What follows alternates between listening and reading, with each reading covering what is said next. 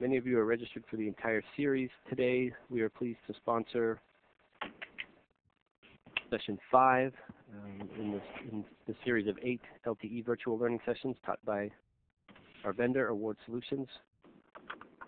And the LTE Bootcamp series will cover LTE technology and standards, not the Alcatel solution or product. There will be additional training presented to cover our solution. Oops, that's our slide. If you look at the entire series.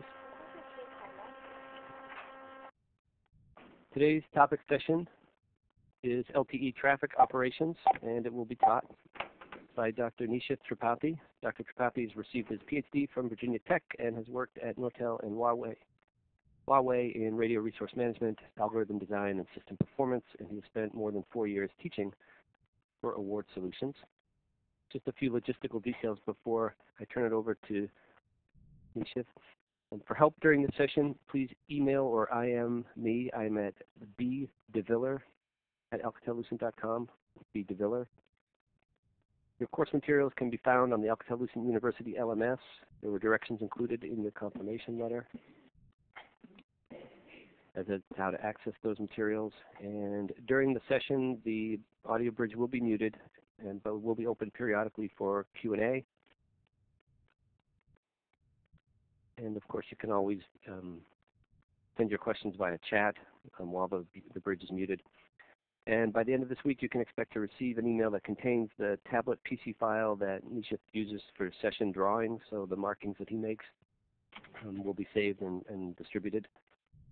And at the conclusion of the session, we will allow the final 10 minutes as an opportunity for you to give your evaluation online, um, and that's very important for us. So I ask you to complete the evaluation when the course is over.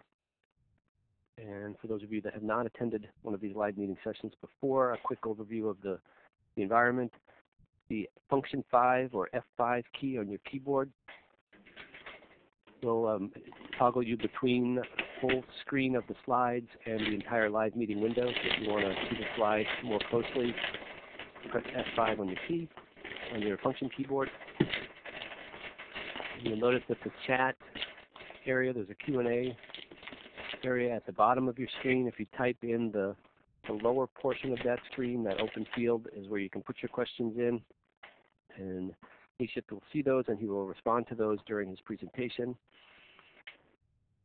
And next to that area is the seating chart, and that lets you know where everybody is in, in the room um, in a digital way. And you'll notice that right now all the seats are green. We may ask from time to time that you change the seat color. There is a, a button at the drop-down menu for changing the seat color that allows us, if we want to gather some feedback from you without having to open up the bridge, um, we could just ask you to change the color from green to some other color. And believe that's the end of the, the logistics portion, so I'm going to turn it over to Dr. Nishith Tripathi. Nishith, sorry Nishith. Hello, welcome to session number five, traffic operations.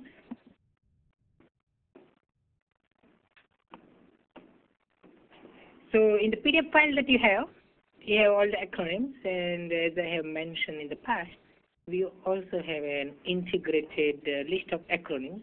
So feel free to have that handy.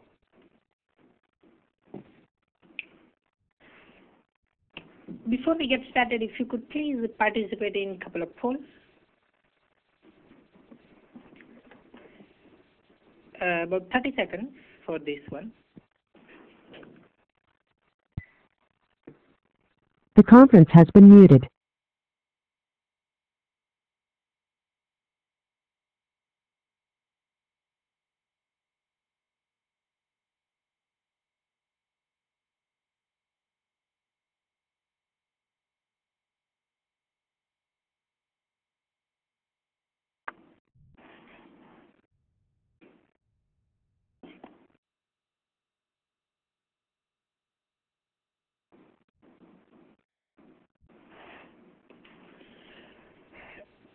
And please uh, participate in the polls. And as Bruce mentioned, uh, maximize the use of questions box. And I will send you quick acknowledgement once I look at your question. and then I will respond at uh, suitable time. Okay. okay, so okay, about 50% customer support, uh, about 40% system test integration. Okay, some of you are still uh, filling out. Okay, okay.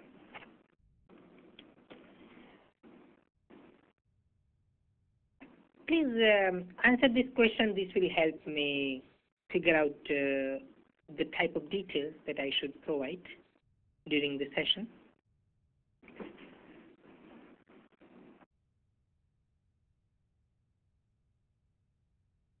And no limit on the number of questions that you can ask, so uh, feel free to ask questions anytime.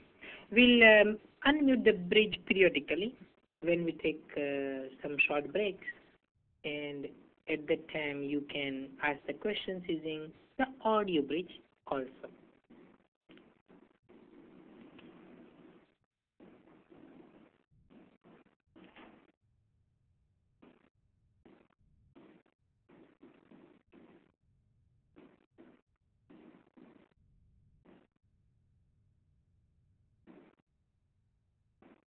Okay. About uh, 50% uh, of 15, 20, oh, about 75% do not want too much. Okay. Okay, I will try to keep it at the medium complexity uh, from the perspective of details. But if you do have detailed questions, go ahead and ask your question. Uh, we will try to make sure that uh, we meet your requirements. And for the folks who do not want too much, uh, please have some patience. Sometimes we may need to go into the details in answer to some questions. Okay, but I will try to keep this at uh, a medium degree of uh, details level. Okay. Okay. Uh, your answer to this question will give me some idea about your background and we can correlate what you may already be familiar with with some LTE concept. So uh, about 30 seconds uh, for this one.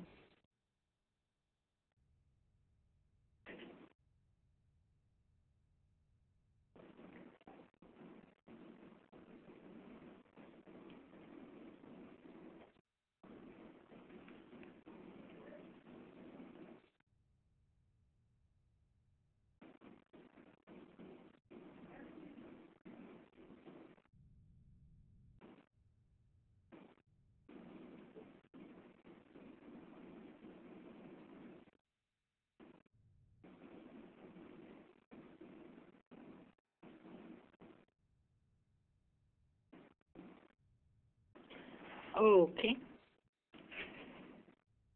Yeah, about 80% uh, would be dealing with LTE and 1x, 1x video. Okay, and the rest would be, okay, thank you. Okay, in terms of uh, what we plan to accomplish today, we look at um, the basic four-step process of downlink uh, data transmission, and we'll also take a look at the uplink data transmission. Along the way, we will discuss the concepts uh, such as CQI, PMI, RI, three ways of allocating resources, type 0, 1, and 2. We'll also discuss what is a virtual resource block. You will be able to differentiate between persistent and non-persistent scheduling. For the uplink, we have so-called buffer status reports. So we look at the types of those. And finally, toward the end of the session, we'll consider miscellaneous topics such as the timing alignment, power control, and discontinuous reception. So this is what we have in store for us for the next uh, couple of hours.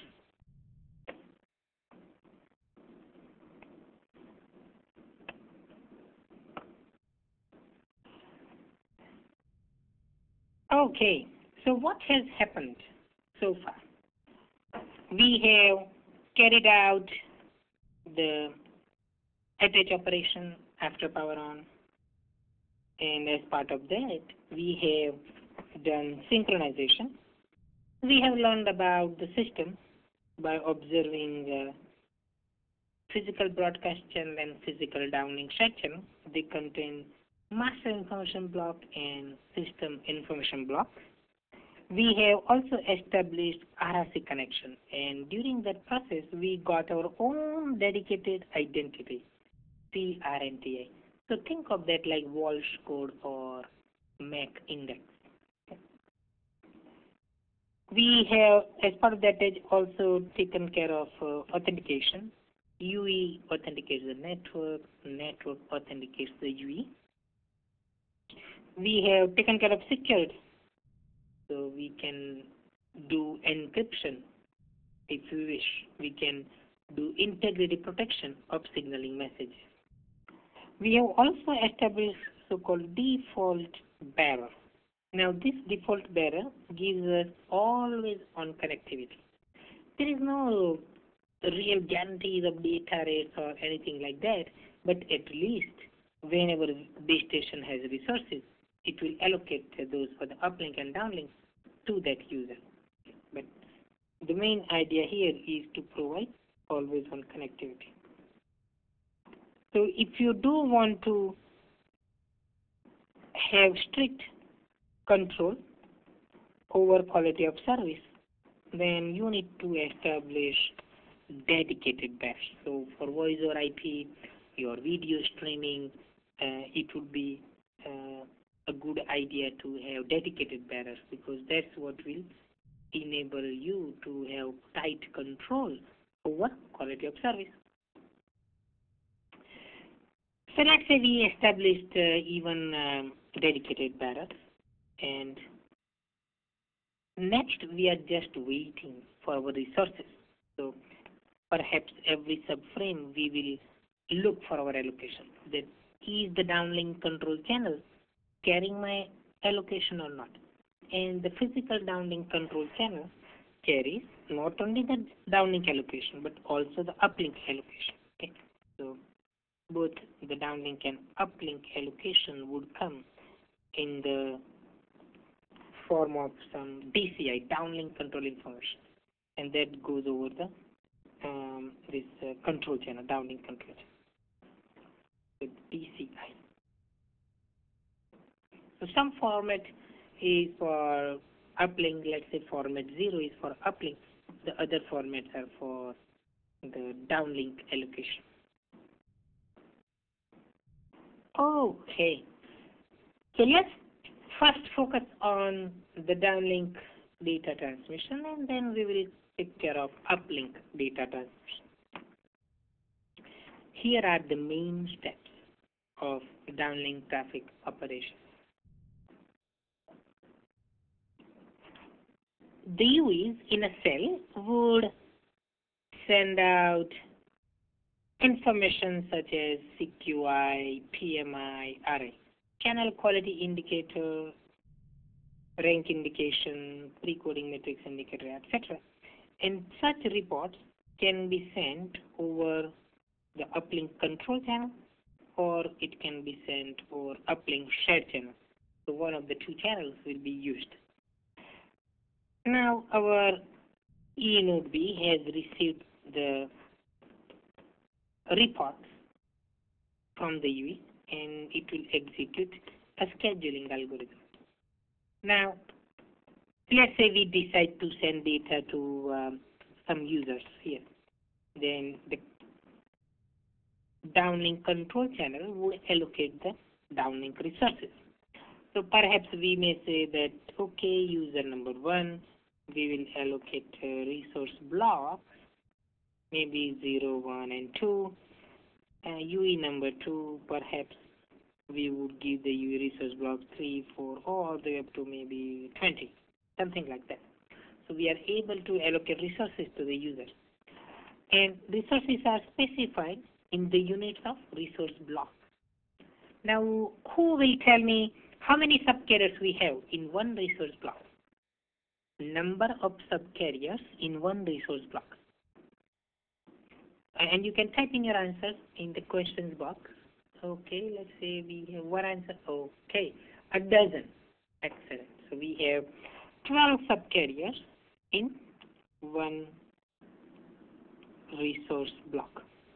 And those are consecutive subcarriers, okay, neighbors of one another. Thanks for the answer. So as a UE, we know which resource blocks and hence which subcarriers are for us. And then we will look at the downlink shared channel and get our data from those uh, resource blocks. Let's say we are able to successfully decode the packet, then we will send a hybrid ARQ positive acknowledgement. However, in case we could not decode the packet correctly, then we will send uh, negative acknowledgement over the one of the two channels. Either we can use uh, uplink uh, control channel or uplink share channel to carry such information. In case we have indicated negative acknowledgement, the base station says, okay, this terminal needs some help, so let me retransmit the packet on the downlink share channel. Those are the basic steps. And the critical piece of uh, software is the scheduling algorithm because that is making all kinds of decisions. Who should be uh, getting data at using which modulation scheme, uh, how much coding we should put, etc. So scheduling algorithm will be a proprietary algorithm. So every vendor will have its own version of that algorithm. So what we will do next is take a look at each step in more detail. That's the focus for the next few minutes. Okay, so the first step in the downlink transmission process is for the UE to provide feedback. Okay, one of the important pieces of feedback is CQI, Channel Quality Indicator, CQI. CQI goes from 0 to 15 because we have 4 bits, so we can have up to total 16 values, 0 through 15. Low value, such as CQI1, that corresponds to poor channel conditions. On the other hand, the large value, let's say 15, that corresponds to the best possible channel condition. So here the UE is saying that, oh, I have excellent channel conditions in the downlinks. And the reason behind the CQI is since it quantifies the channel conditions, we know what kind of modulation we can use, what, how much coding we should put uh, with that will enable our UE to retrieve the packet uh, reasonably reliably. So um, I will give you one example. Let's calculate uh, efficiency uh, and that would be defined as number of input bits per modulation symbol period. So you can calculate that by multiplying the coding rate with number of bits per modulation symbol.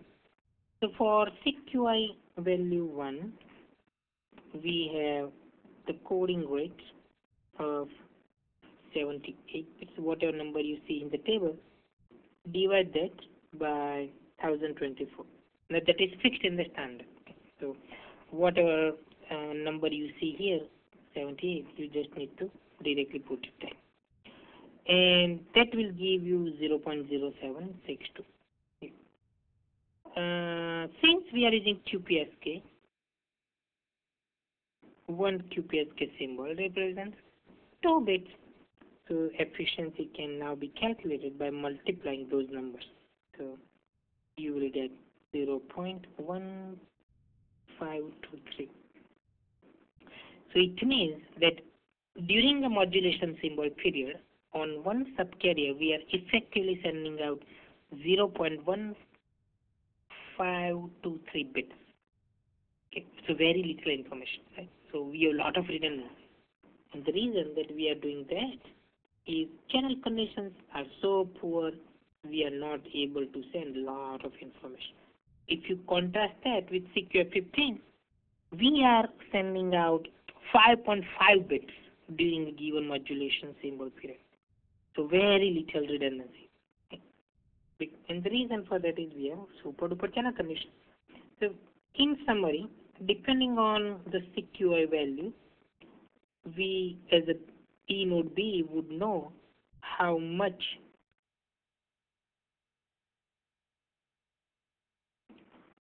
coding, what kind of modulation scheme to use for that specific queue.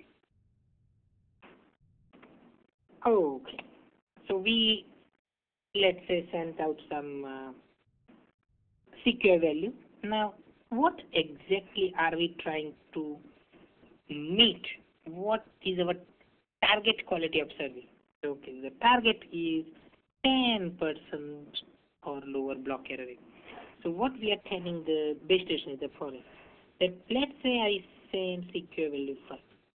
If the base station sends us data on the downlink shared channel using the modulation scheme and the amount of coding corresponding to that CQI with certain assumptions, then we are guaranteeing to the E node B that I will experience 10% or lower block error rate. And the 10% is fixed in the standard. Okay. So that's the instantaneous error rate. And if you think that's too high, don't worry because we have retransmission, right? So we have initial transmission, 90% chance that it will be decoded correctly. But uh, in case there is a problem, then we can always retransmit within few milliseconds, and then it will drop to 1% error rate very, very quickly. So in summary, the CQI value is aiming to get 10% or lower block error rate. So 10% block error rate or frame error rate is what we are after. And uh, what are these assumptions? We are saying that, okay, uh, we will get our packet in one subframe, uh, coding and modulation associated with the CQI value, and the power on the data resource element. And resource element is nothing but um, one subcarrier and one symbol type.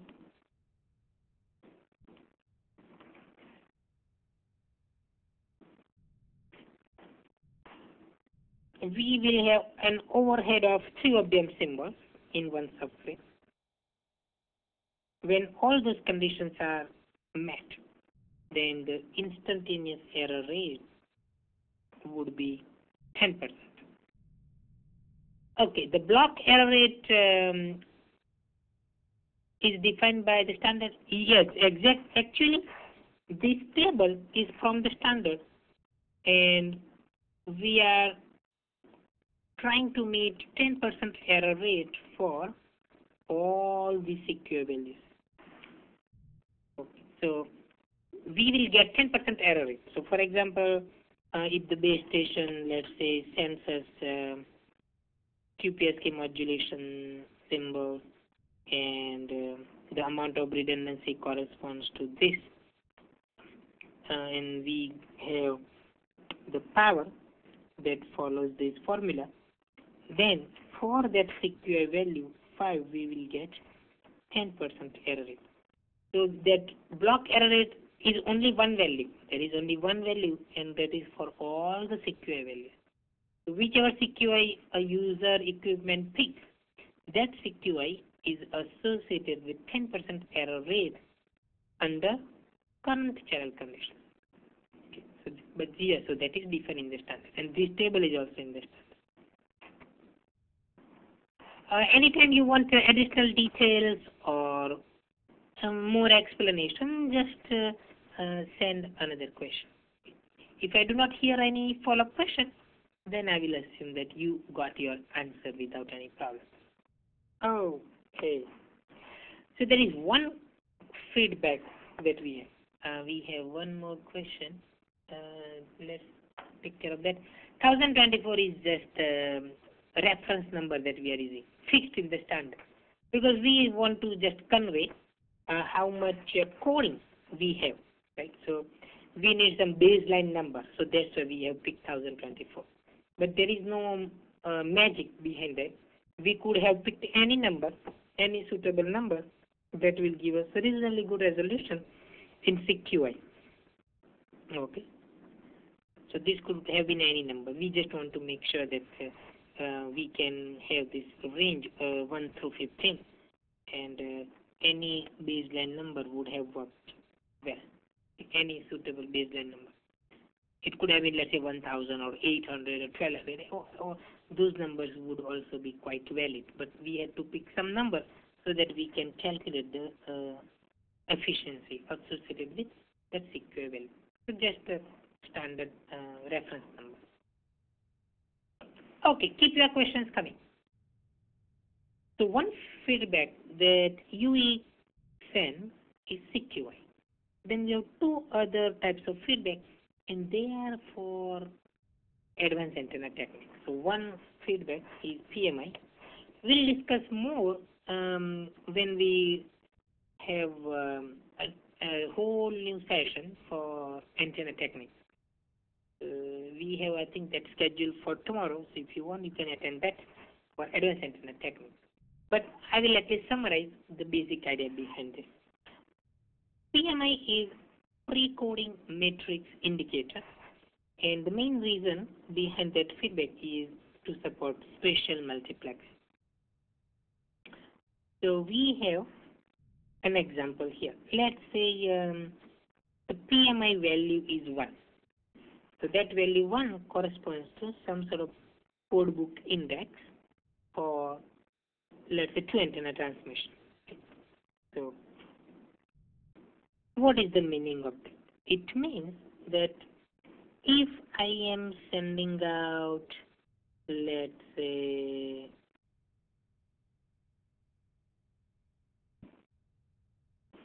oh, I'm sending out information from two different antennas. This RI is rank indication that will essentially tell you how many modulation symbols we can send on the same subcarrier. A number of modulation symbols on the same subcarrier from different antennas. So if the number is 2, then we can send one modulation symbol S1 from one antenna, another symbol from another antenna. Both of them will use the same subcarrier Fx.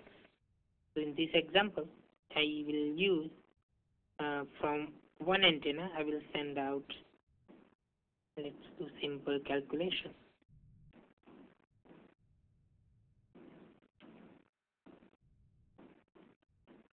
Okay, we have,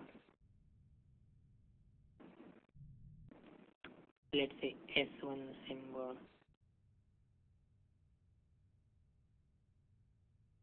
So maybe I will send out, let's say, oh, actually 2 by 1.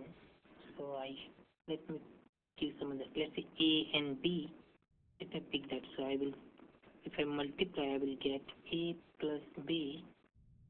Okay. And then I will get A minus B. Okay. Okay. So I got two numbers. So this will go from antenna 0 this will be sent from antenna 1 I see so what I could do I could have this one going over F1 this also goes over F1 so I am sending out some complex number okay uh, from two different antennas okay, but I am reusing the same subcarrier F1 so pre-coding matrix is telling us how we are changing the structure of the symbol so in this case if it is just a plus b okay let's try to make it even better. Let's say a plus jb a minus jb here it is j let me write separately A and J times. So in this case, I am sending out the modulation symbol with different phase.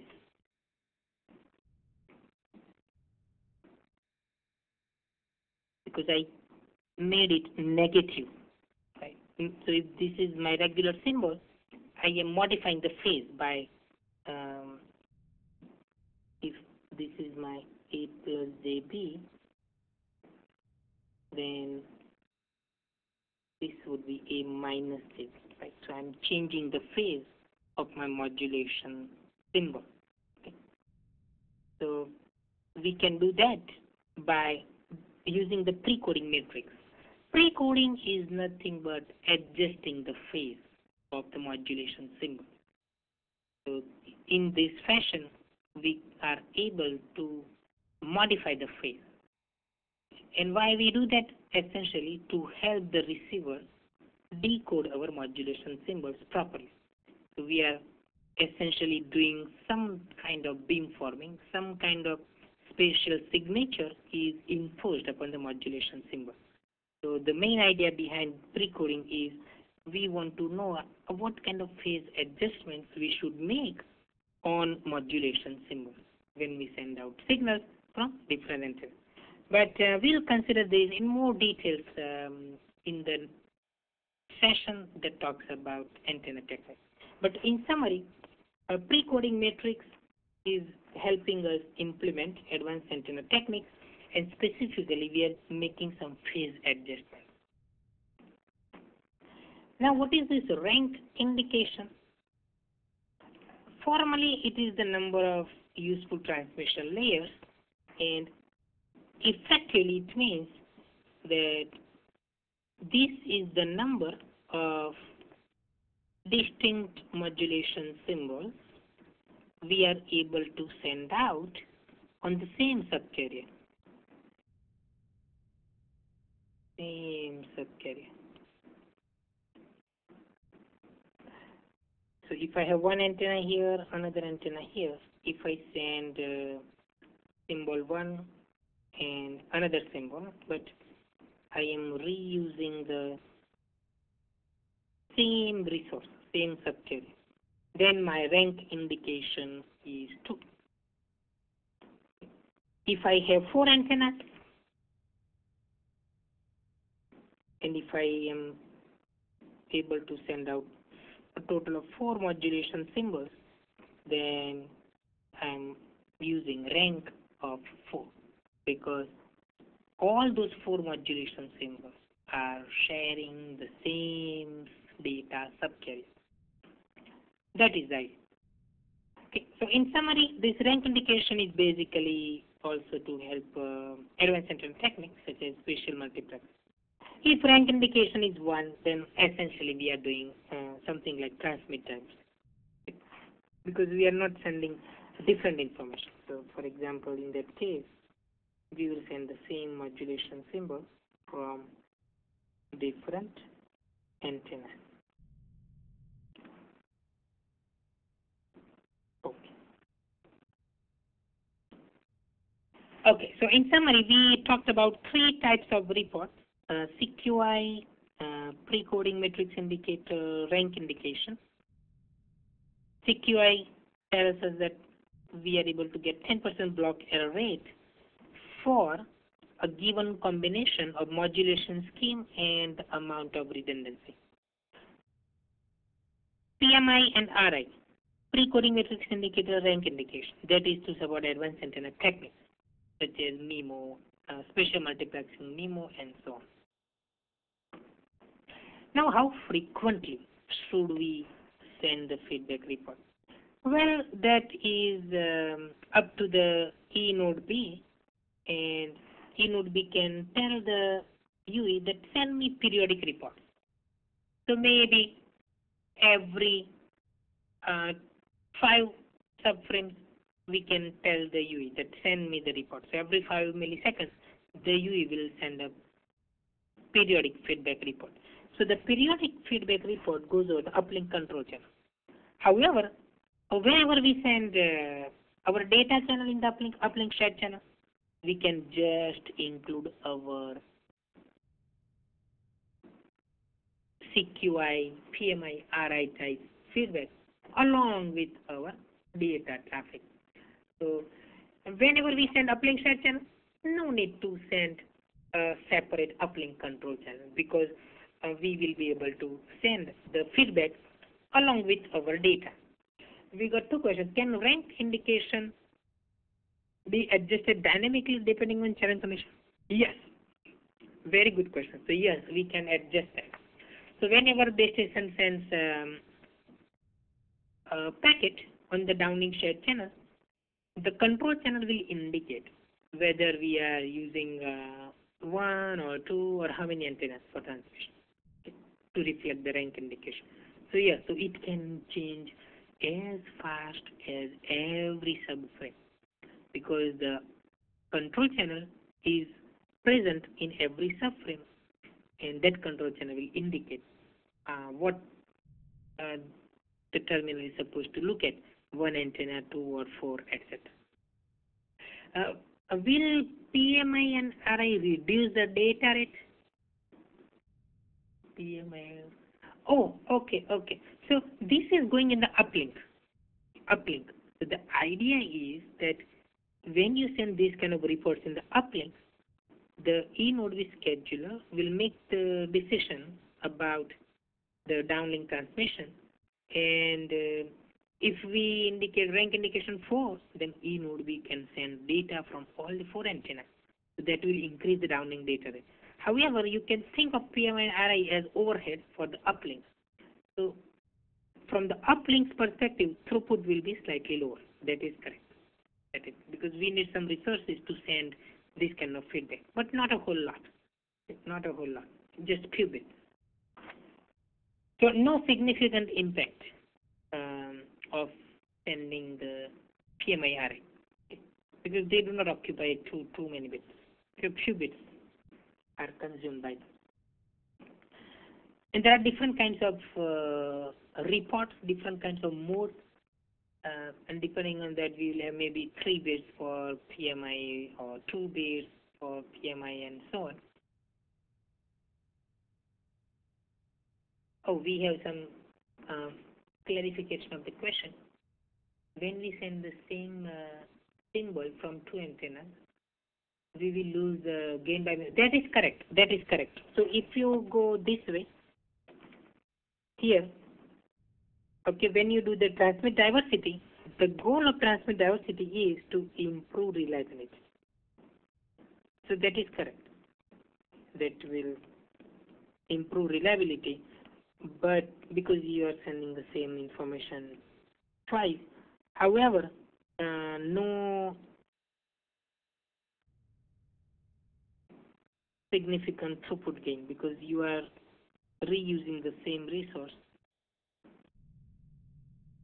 So if you are really after throughput, then you should use spatial multiplexing type technique. If the radio environment allows you to do that. Okay, so compared to MIMO, that is correct. Our uh, transmit diversity will have lower throughput, of course. That is correct. Uh, okay, so we answered all the questions so far.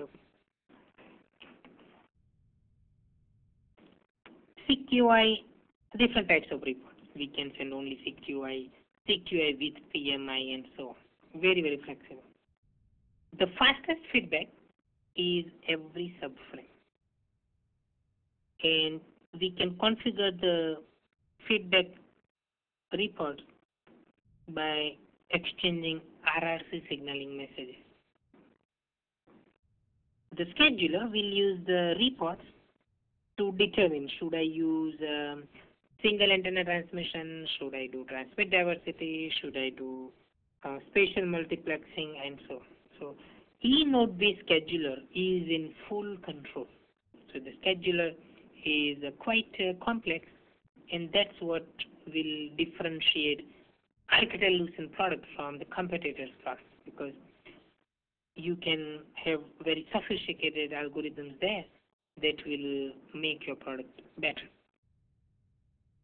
Okay, time for me to ask your question. Uh, please uh, participate in the poll. And while we do hope that uh, you are not guessing, if you do need to guess, uh, feel free. And you have the PDF file. So again, hopefully you do not need to look at the PDF file, but go ahead. Uh, it is open book exam. If you do need to look at the material, go ahead. Let me give you about a minute to finish up this one. What kind of error rate are we aiming for? That is the basic question. What error rate did we mention? We mentioned a specific number for the error rate. Which was that number?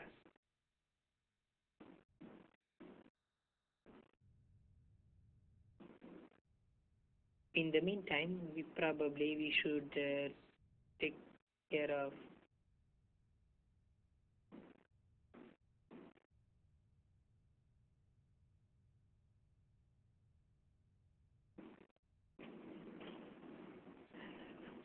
Okay, um, let's see. Okay, so by the time you guys are working on the survey, I mean the poll, let's uh, address this question.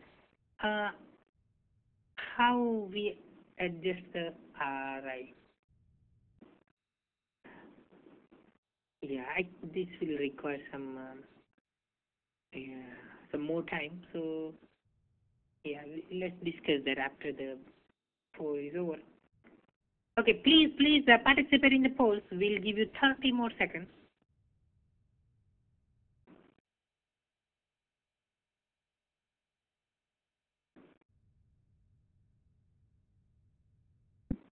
No penalty for a wrong answer.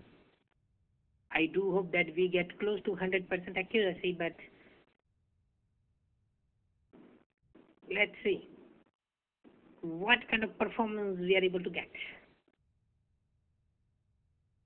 20 seconds.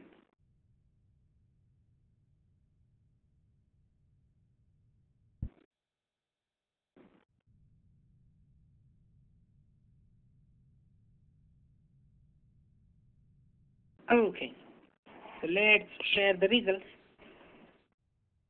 Okay, 94% uh, correct answer, very good. So 10% is the error rate. Okay, so whenever UE sends CQI, UE is promising to the network that uh, when those conditions are satisfied, the base station uses those parameters, then the UE will experience 10% or better block error. One more question, and then we'll answer the question on rank uh, indication.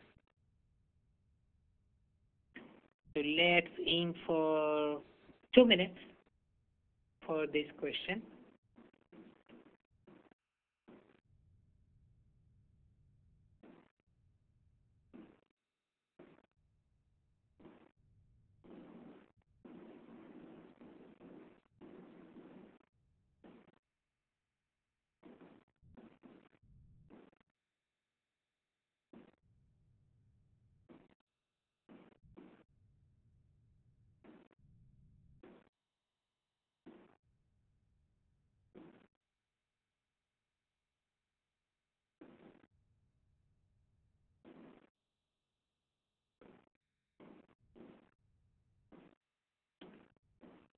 And please uh, participate in the polls.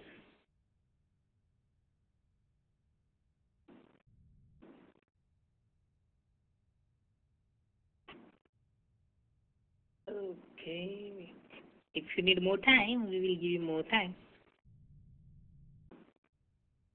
Why do we have this uh, pre-coding and rank feedback?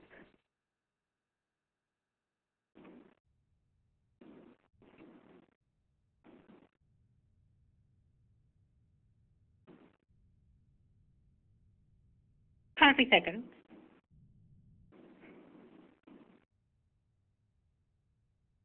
And uh, please uh, continue asking your questions. That is the best way to get maximum benefits out of this session. And we want to make sure that all of your questions are answered. And uh, by the way, uh, in one of the previous sessions, uh, we had some uh, questions I was supposed to get back. One was uh, mapping between DSCP and uh, QCI. Yes, I will I will work on that. Okay, okay, let's share the results. Okay, so this time um, we have 100% uh, correct answer. So very good. So let's keep that as our target for next time. So you are right. Uh, the main reason that we have this PMIRI to support advanced tech.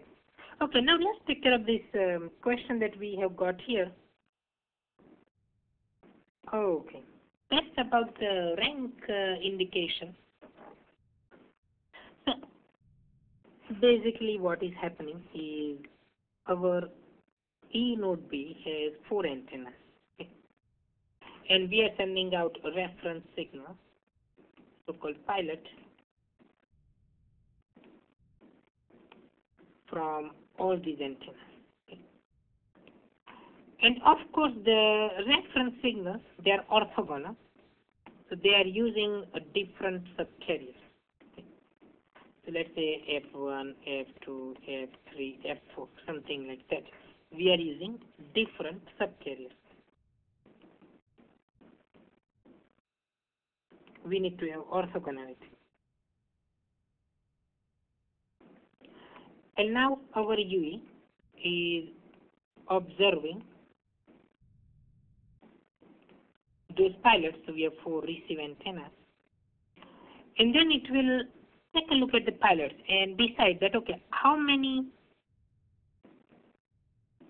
signals reference signals it can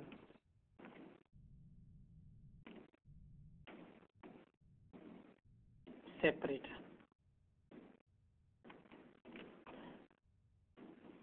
so maybe the answer is uh, out of four we can separate out two signals so in that case, the rank indication will be 2.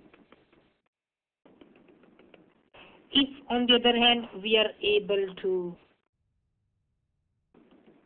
separate all the four signals, so they are sufficiently different from one another, so then we will send rank indication value 4. And that just depends on the channel conditions at that time. And once the E node B receives this kind of feedback, it will make a decision how many antennas it should use to send the modulation symbol. So if the rank indication is 2, we will send two distinct modulation symbols using the same subcarrier. But of course we will use different antennas. However, if the rank indication is just 1, rank indication just 1, then it means that, oh, we really cannot differentiate among those uh, signals. They are not sufficiently apart. So in that case, it is good idea just to use uh, transmit diversity. So rank indication 1, so it means that uh, no need, we should not be using any MIMO type technique, then we will use transmit diversity. That is the best way to uh, operate in those uh, channel conditions. And normally um, the graph would be something like that. This is signal to interference ratio. Okay. So um, if we have low values then uh,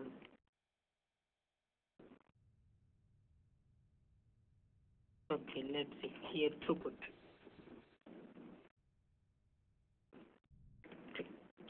so at high let's say uh, this would be MIMO type technique and this would be let's say transmit diversity. So if we have low values of uh, signal to interference ratio, then uh, at that time it is a good idea to use um, transmit diversity because channel conditions are so poor that we cannot uh, use uh, MIMO. That will not give you good performance. Okay? And when the channel conditions are super duper, high signal to interference ratio, then we can use uh, MIMO. that will increase the throughput significantly. Okay.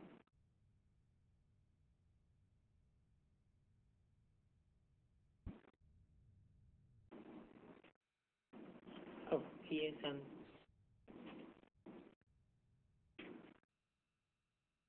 uh, so we have this question. Um, how, oh, let's, okay, can you describe the PMI the same way? Actually, PMI is a little bit, uh, tricky because here we are making some uh, phase adjustments and if I really want to show you the uh, impact of PMI, we need to consider uh, two things. We need to consider pre-coding and so-called layer mapping. And that gives us the overall idea. If I just look at pre-coding matrix, it does not give you the whole story. So let me try to do this. Uh, let's see how much progress we make. Okay. And if we have some time left, then toward the end of the session, I will give you um, a concrete example of this. Otherwise, you can always come to the session tomorrow, and we'll give. We we are discussing that anyway. Okay, so let's do this. Uh, depending on how much time we have, we'll take, care of this.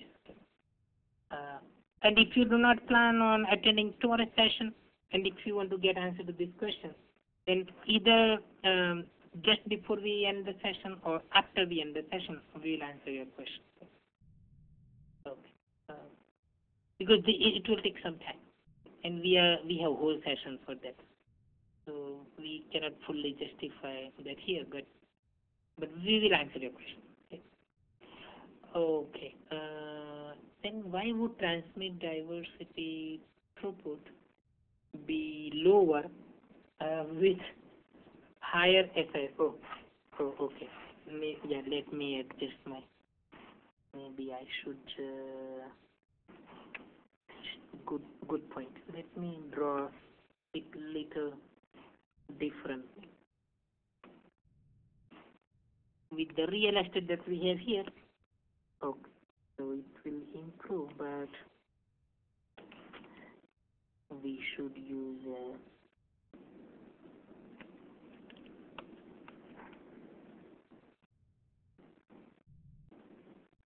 Okay. So we will have a throughput um, that is um, sort of, um, you could say, okay, transmit uh, diversity. That would be something like monotonically increasing. So there should not be any penalty, but what I was trying to convey was there will be some switchover point that up to this point it is good idea to use transmit diversity. But after that we should switch to the MIMO technique. Yeah.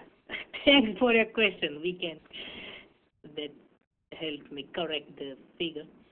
Okay. How is CQI mapped to SINR? Very good question. Very good question. And that would be, the short answer is, it would be UE implementation dependent. So we need to uh, have some sort of table. So every UE vendor may have slightly different table, but effectively you have to measure signal to interface ratio for the downlink and then come up with the associated CQI. Okay, so maybe CQI value uh, x dB, x plus 2 dB, x plus 30 dB or whatever. So this will correspond to let's value 1, 1, 2, all the way up to 50. Okay. And that will be determined by every UE vendor independently. But at least all UE vendors need to guarantee 10% error rate. Okay, so whatever table they have, different vendors will have slightly different tables, but at least they need to be able to guarantee 10% error. rate. So you can uh, start with the simulations and you can confirm through lab testing and then field trial. If you want uh, still additional information, just let me know. But that would be uh, in those uh, simulations, uh, then lab test, and finally field. So you start with simulation that will give you some numbers. You can run simulations with different channel conditions and so on and come up with that. You can do simple tests and finally trial will give you the most reliable table. But it, it will require some uh, extensive effort. Okay, uh, any other question, just uh, type it away. So, so far we have one outstanding question uh, about pre-coding, but since it will consume a lot of time, uh, let's wait. Okay. Okay. Uh, keep your questions coming.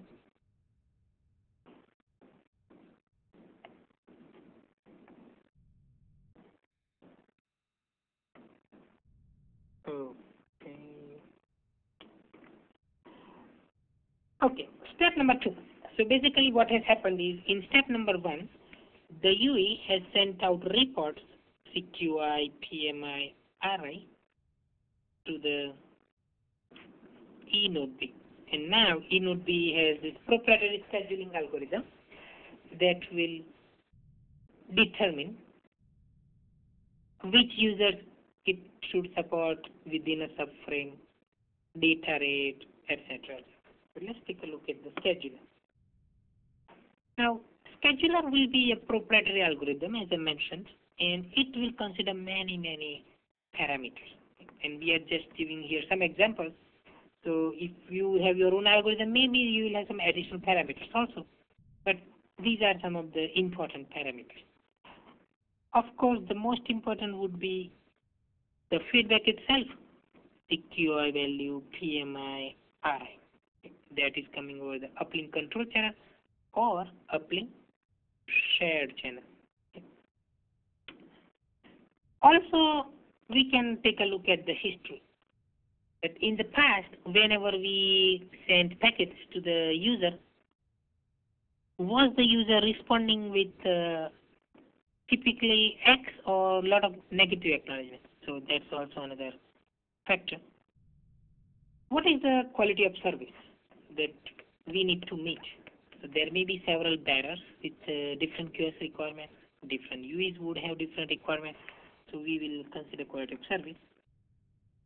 Um, what are the capabilities of the UE? There are five categories uh, defined in UMTS LTE.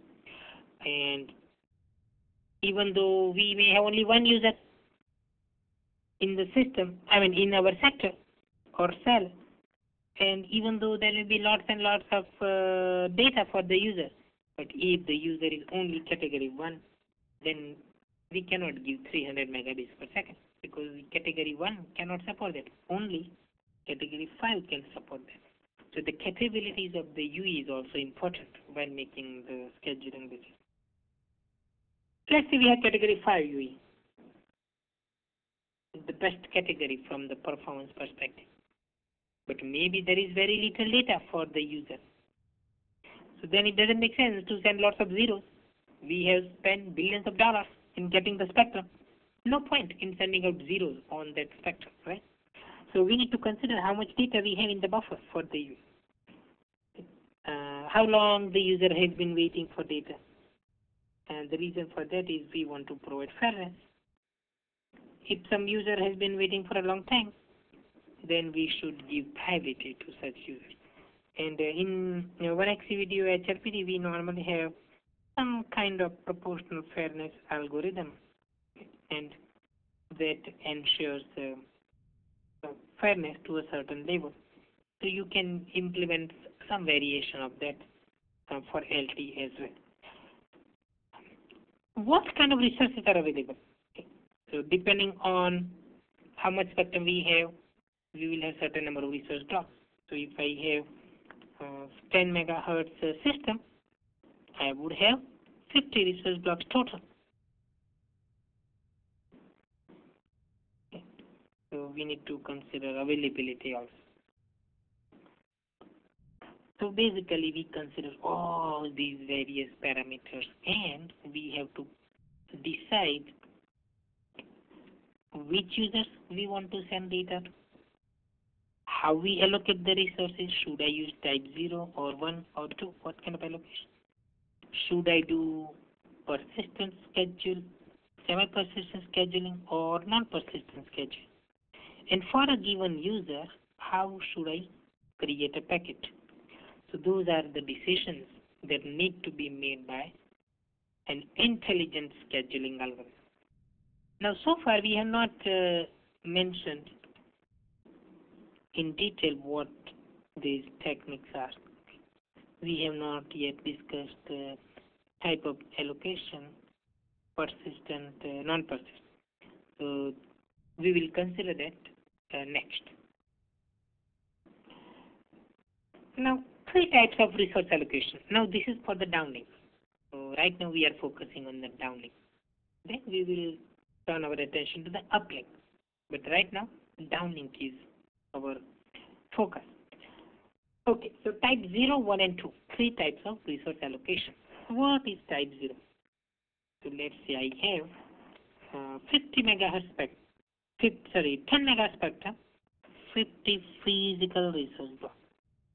Uh, physical resource blocks, basically, if I have this spectrum here,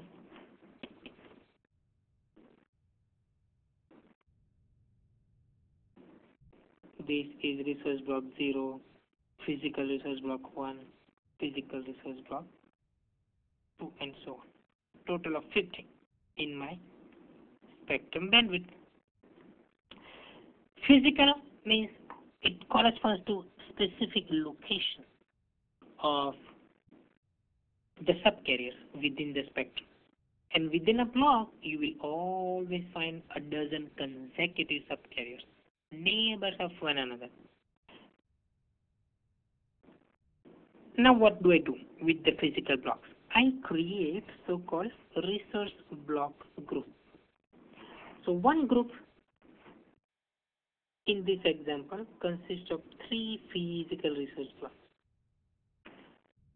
Now how many resource blocks should I have within one group? Actually that depends on the bandwidth. Okay, so if I have 10 megahertz, I have 3 resource blocks within a group.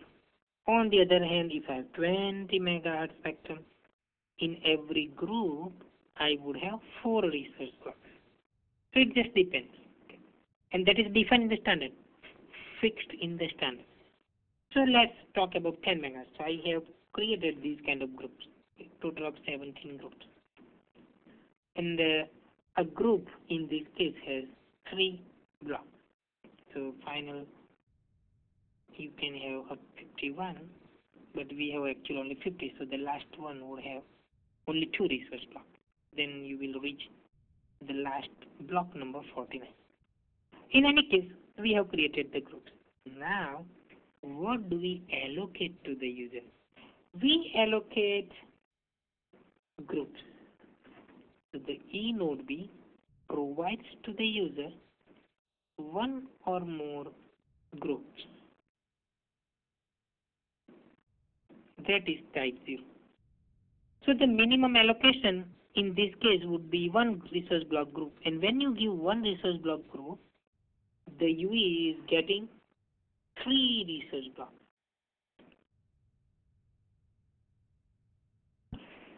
So this kind of resource allocation is suitable when you want to allocate large chunks of bandwidth. So if I say 1, 0, 1, 0, 0, 0, 0, all the way here 0, that is the bit cap that we are providing for resource allocation. whenever you see one, that's the resource block we have allocated to the user. Another one. So other resource blocks, not for that user, maybe some um, other user. Okay. So in this case, we gave two resource blocks, this number 0 and number 2. So 3 times 3 blocks and 2 such groups. We are essentially giving 6 resource blocks. One resource block has 12 subcarriers. So in this case, we are giving 72 total subcarriers to the user. So in summary, in type 0, we are specifying the bitmap for resource block groups. So even the minimum allocation would be one group and one group already has three blocks. So the advantage of this kind of approach is that you can give large bandwidth, right? In fact, you can give the entire bandwidth to just one user. So you can have all one, one, one, one, one, that is your bitmap. It means we gave all the resource block groups to a single user. So the benefit is that you can give a lot of bandwidth right, by using the bitmap. The disadvantage is that just one resource block, right, that is not possible. Because at the minimum, right, in case of 10 megahertz spectrum, we have to give the whole group and the group already has three resource blocks. So using type 0, you cannot give just one resource block to some user. Okay? You are allocating the bandwidth in terms of resource block groups. Minimum it would be three blocks. So three blocks, six resource blocks, and so on. How about type 1? So in type 1, we go one step further. We create the groups just like what we did earlier, but then we create subsets. Subset 0. So in subset 0, what will I do? I will pick one group from here, then another resource block group. So I keep doing that, and I got let's say another resource block group here. Then I go to the next one. This resource block group one, I'll put in sub subset one.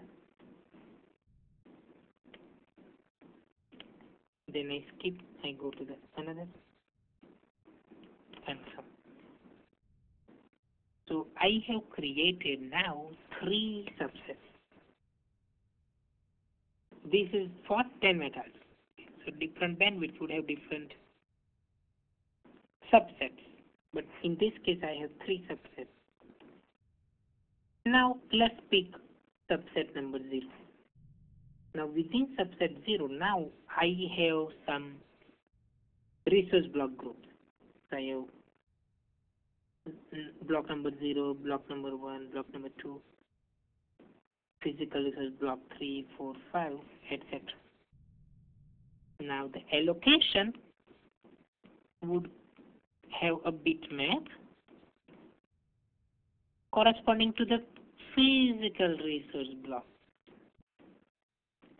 So if I put let's say 1, 0, 0, 0, 0, 1 and let's say all other zeros, then I am allocating to the user block number 0, block number 5. So I am giving two specific blocks because I put bitmap value 1 here and bit number 1 here in the bit. So I am able to address individual physical resource blocks. However, the problem is when you allocate the resources, you are allocating two things, the subset number and then bitmap for that subset. So you have to pick the subset number first. So let's say I pick subset number 0. Okay, so as soon as I pick subset 0, the maximum bandwidth that I can allocate is just one third of the overall bandwidth, right? Because in general, right, we have almost equal distribution of resources among the three blocks. since we have to pick the subset number first, we are already at one third the bandwidth. Right? So the problem with this kind of allocation is we cannot allocate the entire bandwidth. Right? You cannot give large bandwidth. The maximum bandwidth that you can give would be one third of the system bandwidth. However, the advantage is that even one PRB can be allocated. So minimum allocation can be just one PRB. Okay. So that is the basic idea behind type 1. That we are able to give the minimum allocation, just one resource block, so we have much finer resolution okay, compared to type 0. However, the drawback is we cannot give the entire bandwidth. Oh, okay, then type 2. What do we do in type 2? Type 2, we have so-called virtual resource block. So if I have 10 megahertz spectrum, I have 50 virtual resource block, 0 through 49. And what we allocate to the UE is the starting block number and the number of consecutive VRBs. So we can say that okay, the starting number is let's say 0 and the number of consecutive blocks, let's say 3. So I start with this and total of total 3 blocks, so 0, 1, 2 and 3. So I will allocate these three virtual resource blocks. So we have given three VRBs in this example to the user. But where is our actual data? The actual data would be on physical resource block. And that's where the localized and distributed blocks come into the picture. In case of localized block, physical block number and the virtual block number same. On the other hand, if I have distributed VRBs, then the mapping between the virtual and physical block depends on the frequency hopping formula and that is defined in the standard. So that's the basic idea. So in summary, three types of resource allocation, 0, 1 and 2. Type 0, the advantage is that we can give even the entire bandwidth because we can give all the groups to a single user. However, the drawback is that uh, uh, we cannot just give one resource block. The minimum would be three resource blocks. We do not have good resolution. Type 1, the beauty here is that we can individually pick which physical blocks we want to allocate to the user. However, the problem here is that we cannot give the entire bandwidth because we need to pick the subset number first. Finally, type 2 is allowing us to give as little bandwidth as one block and as large as all the blocks. The minimum maximum, you can span the whole spectrum and you can do frequency hopping also if you wish. So in summary, those are the three types of uh, resource uh, allocation that are supported in the standard. Okay? And um, all those are for the downlink. For the uplink, we have this type of resource allocation. Even though standard doesn't explicitly call it type 2 or anything like that, but in the uplink, uh, we just give the starting block number and the number of consecutive blocks. Okay, let's take uh, a short break. And uh, once we come back from the break, we will give you an uh, opportunity to ask questions using the audio bridge. So let's have a 10 minute break